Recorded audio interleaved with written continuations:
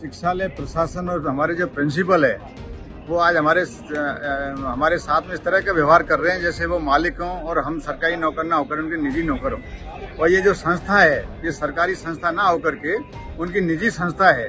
उन्होंने इसी के संदर्भ में एक मनमानी आदेश निकाला हुआ है कि जो पार्किंग है, जो सबके लिए होनी चाहिए, उसको उन्होंने स्पेशली अपने डॉक्टर्स के लिए रिज़र्व कर दी है।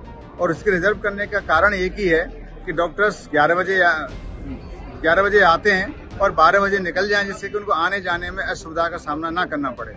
इसी के विरोध में जो उन्होंने मनमानी कर रखी है, संस्था को अपने निजी रूप में काम में ले रहे हैं, उसके सारा हमारा paramedical staff, nursing, lab technician, radiographer, pharmacist, सबने दो घंटे का आज विरोध स्वरूप हॉस्पिटल बंद किया कल हम उनसे मिले, हमने कहा कि आपने, उन्होंने कहा कि नहीं, मैंने एक एक सिंबल तौर पे आदेश नहीं निकाला है, सिंबल हम ट्रायल कर रहे हैं।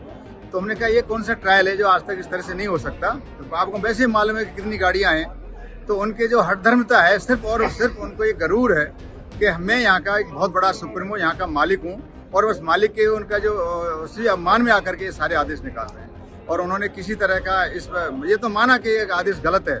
सुप्रीडेंट मानते हैं कि आदेश गलत है, लेकिन वो कहते हैं कि इसमें प्रिंसिपल का दबाव है, मैं इसको वापस नहीं ले सकता। लेंगे उनसे रिक्वेस्ट भी करेंगे कि इसको ये दिखवाएँ।